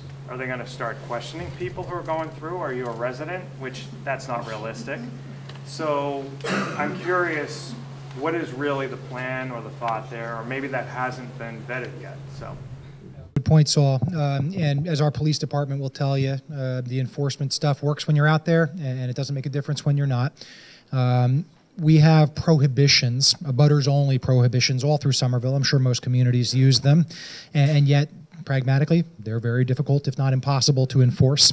So it's part of the reason that we're always interested in more kind of permanent or semi-permanent traffic calming measures. Um, you know, here's a painted bump out in Davis Square and some new signage that we put in place. Um, let's see, I think I got one or two more. Yeah, um, anybody who ever gets over on the east side has seen these curb extensions. Anybody uses uh, Hancock Street, this is Summer Street looking down west towards Davis Square, where there's a version that we just pop little $80 flexible bollards in place to change the turning geometry and start to kind of get the motorist's attention. Those types of things will be placed on the bump outs so they're more visible. Uh, we've done that on Beacon Street and many other locations over the years. But it's amazing when you actually go out there and you, you shoot video and you watch people behaving differently. Something like a tiny little three foot plastic bollard slows the cars down, forces them to actually take more of a 90 degree turn instead of a slingshot turn where you can take it at 20 miles an hour, 25 miles per hour. They slow down to 20, mi- uh, 20 miles per hour, 15, 10 miles per hour, which is what you want them making their turns at. So, you know, the big version, the constructed version is the bump outs, uh, and then the small, temporary, tactical, experimental version often looks like this. Um, it's much easier and quicker for cities to deploy these types of uh, low cost, flexible, and temporary measures than these long ones. You know, somebody mentioned earlier the, the three years of process and maybe even more uh, in terms of getting the designs for Cedar Street going and then the construction. Um, so those bump outs. Um, will make much more sense when the final paving and the final striping and the final signage is in place, when the little uh, delineators are there so folks can see them in low light and in uh, you know other hazardous conditions. But again, the, the, the, trade-off in the decision was to try to slow cars down, and they unquestionably work in that regard. They do, but then with the winter and snow, how are vehicles with trucks and buses going through gonna get through? Because they're, they're struggling now to get by, which slows the traffic up, but you're funneling a lot of traffic through there for the next year, so you're creating a bigger problem. So why not remove them at least for the next year? And let the traffic flow a little more easier? Because they're not gonna be able to go fast with all the mm-hmm. traffic that's coming through. So, and, and I'm concerned about accidents that are gonna happen as a result of those bump outs, especially with snow. No, fair point. And uh, you know, our DPW crews are already in snow mode. They've actually been in snow mode since July 4th, and it's always the weirdest thing for us. It's surreal uh, that they do their snow planning in the middle of the summer, but they do. And these types of physical changes are part of their planning efforts, their test drives, uh, their standard operating procedures. I'll come to you in a moment, ma'am. Uh, uh, these folks go away. Judy, and then you, sir. Okay, I have a few questions to ask. I'll be quick though. Um, so I did speak to someone today who's a retired firefighter, and uh, one of his family members is still active in the city. And they're concerned because they've already made calls um, in to the station saying that we can't get through the traffic that exists now. Okay, so they're really worried about, and you would cover that already with the chief. Okay. And the other question, well, really, I just wanted to say something about, uh, with all due respect about the GLX spending. Um, Now, interrupt me if I'm wrong, okay? So they've already allotted two billion, which there was basically an open checkbook. We read all this in the Globe for months, all right? Now you want another billion dollars. Like, I would want to know, what happened to the two billion? What was that invested in? Is it because the contractor was then terminated, or however they worked it out. Now we have a new contractor in place. Um, I'm hearing a lot of concern from residents, neighbors, know, so forth. They're worried. I there's a lot of anxiety growing. You can, you can feel it in the room. Um, luckily, I don't have to travel that much during the day. and, you I'm retired from my job. Um, Could you speak up a little? Okay, I'm sorry. But I think, you know, to point out, like again, with all due respect, it would be nice to have a breakdown of where all that money went. There was two billion dollars already spent on GLX. Or it's, it's invested. Let, let me let me, uh, let me clarify that for you, Judy. And again, no, that, that, that's, that's a perfect point. That sometimes we forget to kind of take that step back. But I think that's why people are concerned, because, you know, the other issues are, will the state cover the rest if there is a shortage? You know, that was a question by someone from the Chamber of Commerce, you remember that one? Okay. And my other, um, I wanted to just point out too, that having these small meetings is fine, but I think the city at large really should, you should have a large meeting, maybe in the auditorium. I mean, somewhere where the whole city can come and maybe get up, you know, at the podium with Mark's two-minute, you know, limitations. And um, just have, because everyone feels like they're being isolated and not included in this process. I mean, that's what I'm hearing, okay? Um, Thanks, And appreciate that. then, let's see, I think that pretty much, co- oh, Tufts, okay, just want to Before we go to Tufts, and I'll I'll come right back to you, just so folks know, the entire Green Line extension, four and a half miles, including community path and a ton of drainage work, um, is about a $2 billion investment. About a billion of that was spent in episode one. GLXC's contract, the new contractor, is for the, the remainder for a billion dollars. Uh, So they didn't spend two and ask for an extra one. They spent one uh, and then are proceeding uh, to go to the two, which was the budget all along. Um, and the team that, that pressed pause, you know, that was a painful moment and a scary moment for all of us, but it actually did allow them to get those costs under control. So I just wanted to clarify that. You're, you're asking about Tufts? Yes, I'd like to know when Tufts will be committed to promising whatever they're going to promise. Because, you know, I, I realize it's a pilot program or something else is going on in the wards. and I'm not part of that. I worked at Tufts, so did my mother. I think that you really should push on them because they will benefit from this more than we will. I mean, I'm close to the red line, so I can just hop on Davis Square. But I understand the need for the GLX. However, I'm really concerned for all the residents, elders, we have elderly people, we have disabled people, you know, the cyclists too. I mean, it's already crazy enough with, with them on the road trying to navigate around, and people will be even more frustrated if you guys don't get this right. Thank you. Yeah, good question, Judy. And we asked the same question when Cambridge and Somerville were asked to, to provide direct contributions. And, you know, we've never seen anything that said Tufts had any similar role. Um, the city of Somerville has been going through an update to our town gown, our university accountability uh, process. Mary Jo, have you been participating, Mark? Uh, I know several of our aldermen have been working on those processes, holding community meetings and forums to try to say when the next payment in lieu of taxes agreement kind of comes up for renewal. Um, what are the you know the measures that are included in that? Um, the housing footprint, the education, lifelong education footprint, uh, the infrastructure investment, all those things that we think of in terms of university relationships. So that's an ongoing conversation. And if you Google Somerville town gown or, or university ordinance, uh, I think there's an active process, right? I mean, just to point out to Harvard and MIT gave took ten million dollars to Cambridge. And I know Cambridge is not Somerville, I keep hearing that too, but you know what, we're getting pretty close to it right now. Yeah, uh, it's jump ball right now. And again, if folks are interested in participating, we've got a full public process that anybody who wants to roll up their sleeves and work on the Tufts issues, uh, you- you'd be more than welcome. Sir, you've been waiting. Thanks. Uh, I live on Dexter Street in Medford. It's a one-way street into Magoun Square. Where I live, I'm forced to get into that, onto that one-way to go into the square. I can't go anywhere else. And the last block is one way, right? Yeah, uh, that green light is about three seconds long right now, and the red light is probably about 10 years long.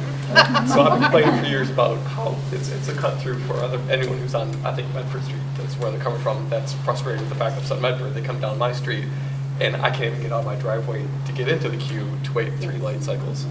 Um, so with this detour route, there's gonna be more people on Medford who are frustrated and trying to cut through my neighborhood. Can you elaborate on like what sort of light cycle changes are going to be, temporary changes going to be made during this year at Magoun Square?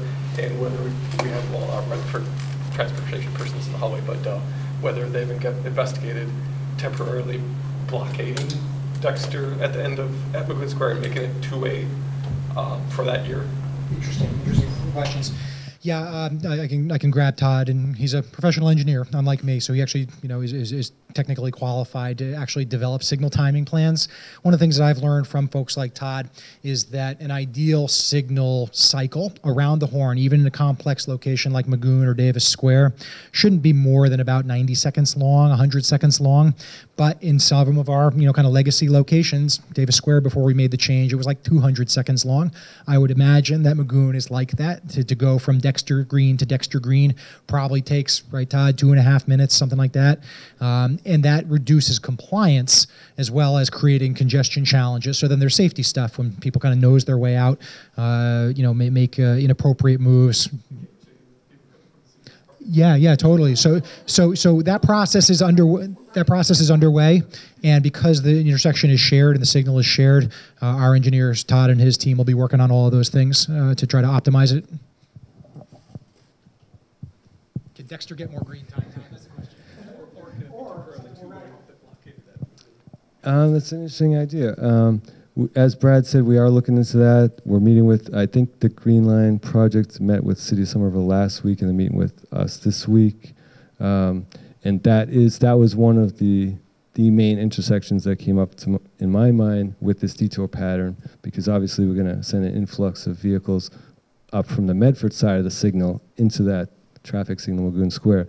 And currently, CVS, the Medford side of the signal, and Dexter Street get much less time than Broadway and the opposite side of Medford Street.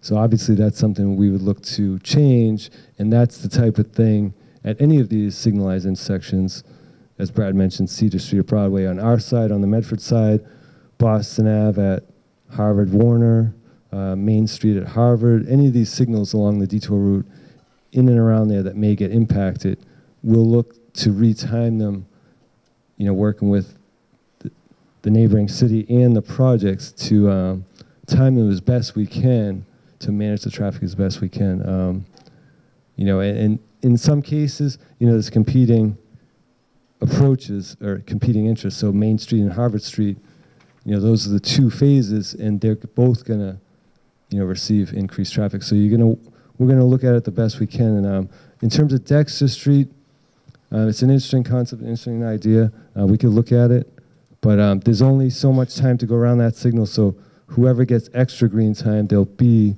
an approach that gets less green time as well. So. Thanks, Todd. So, so stay tuned on Magoun Square in general and Dexter specifically. And you've been waiting, please. That's all right. I just wanted to say the timing of the bumpers were really lousy with this project's coming.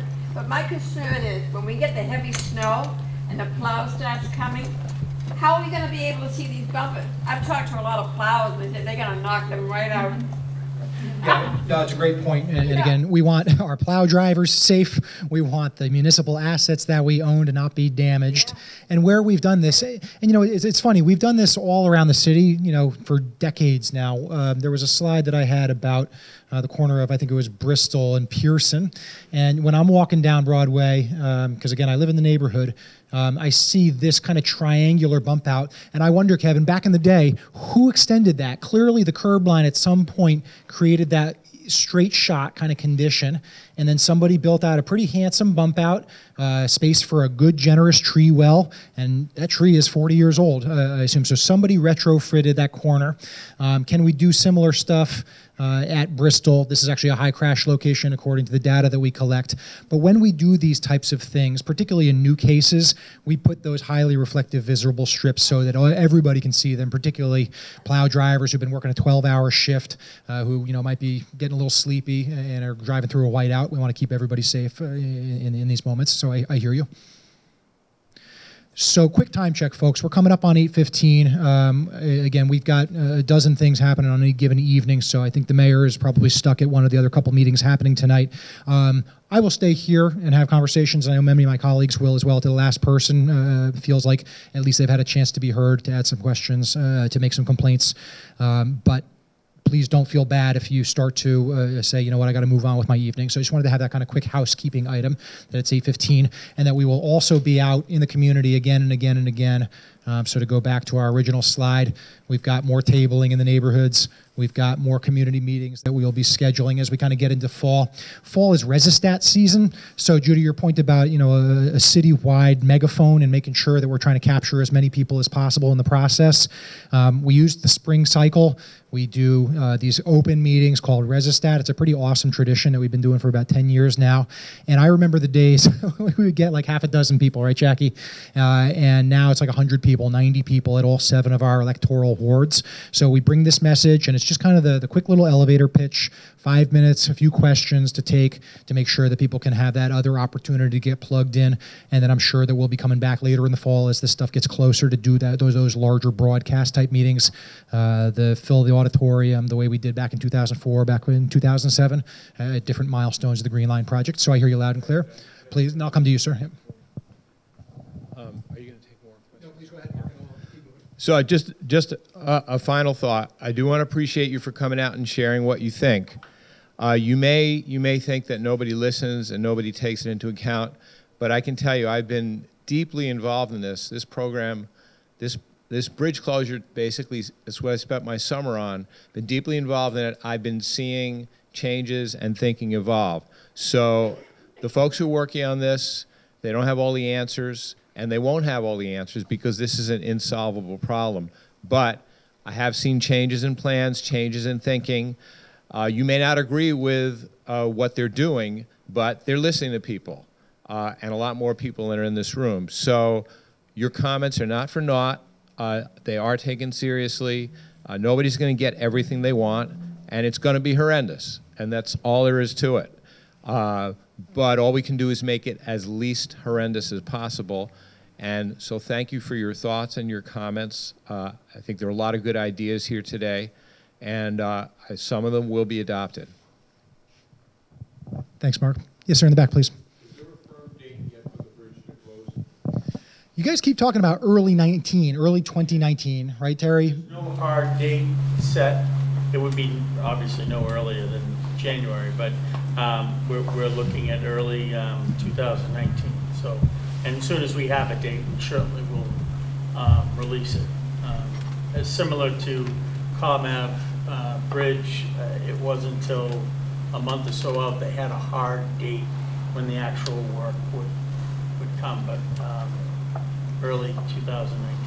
And, and, yeah, a few months ago, when we were starting this tabling activity in our first community meetings, we were speculating, based on the best information at the time, that it was going to be October or November. And of course, that's upon us now.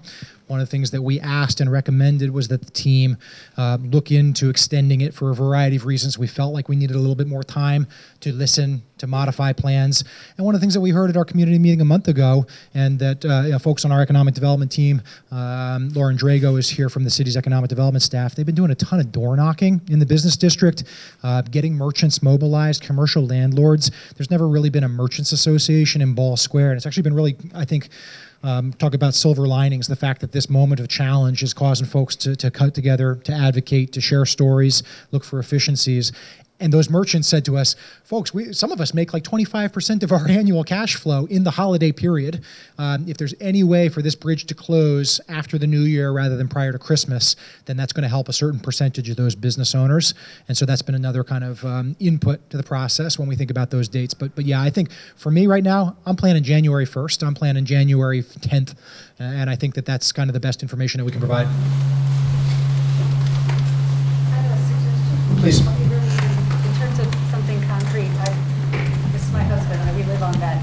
Dexter Bow corner. We're never going to get out of our house ever again. um, but we, we're so excited about doing Um, concrete suggestion, could you add more 311 operators?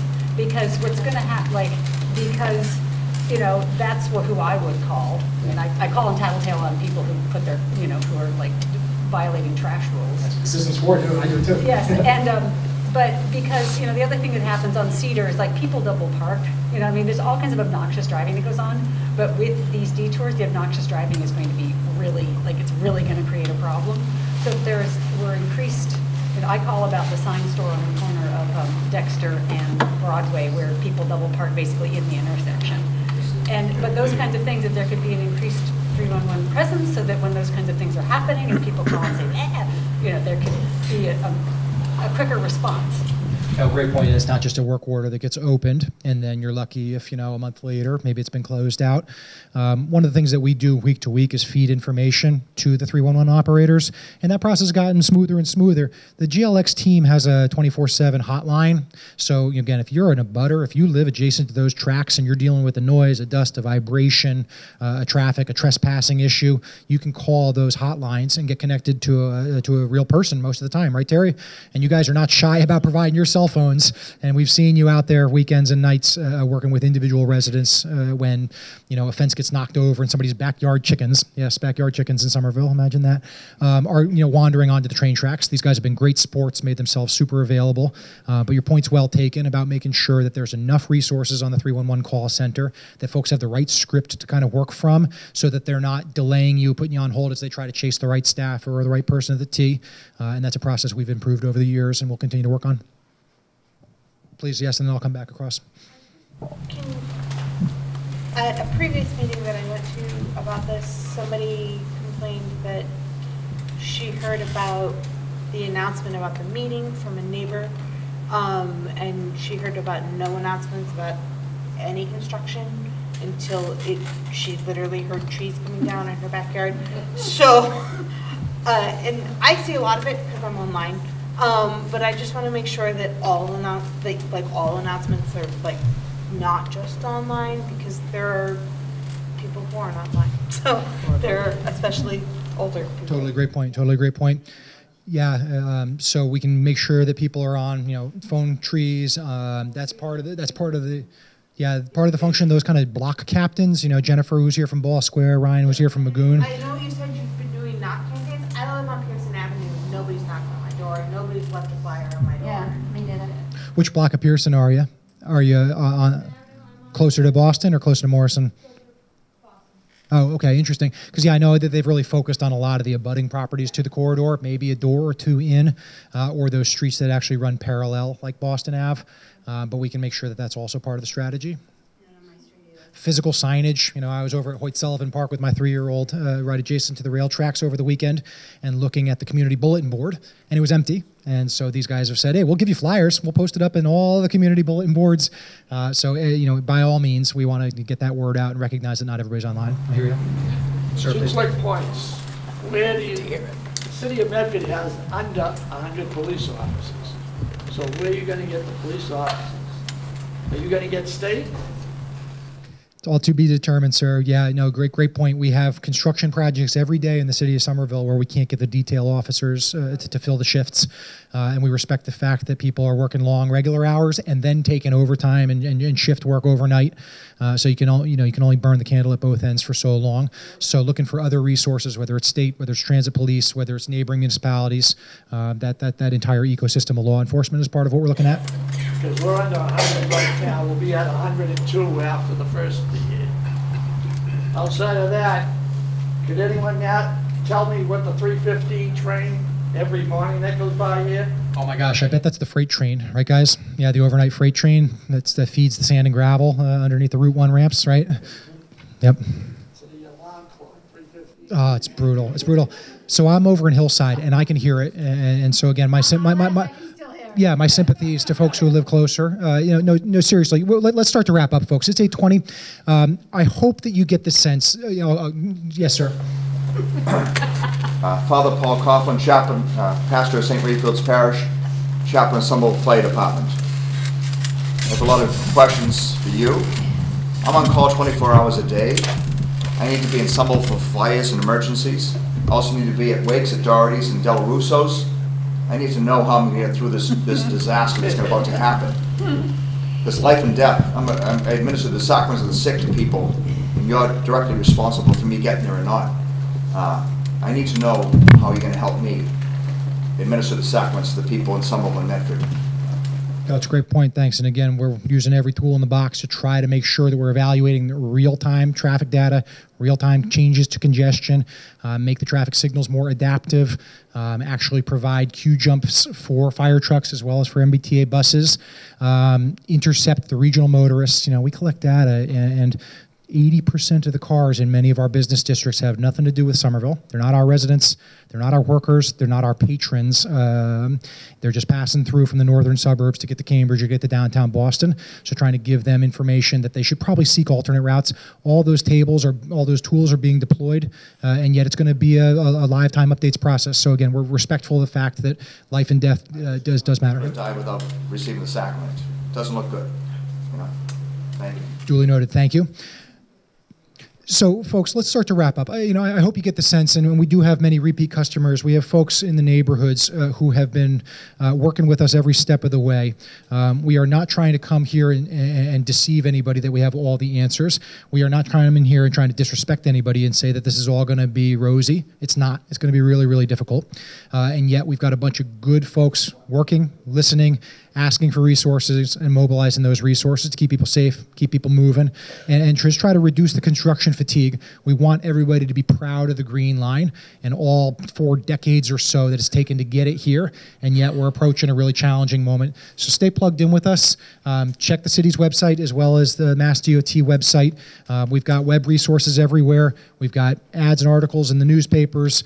Um, the Scout, uh, which gets delivered to every Somerville uh, you know household, is, is covering this stuff. There's a million ways to get plugged in, and yet we still know that, that we depend on everybody in the word of mouth uh, to continue getting folks involved. And anybody who's moving here for the first time, new business getting started, they might not have the benefit of all of these types of engagement activities. So you can expect to see a lot more of us. And, and as the uh, strategies and the information firm up, we'll make sure to communicate it to you. Okay? Thanks for your time. I hope you sleep tonight.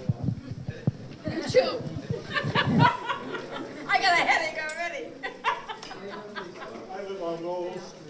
Oh. I, Appreciate it.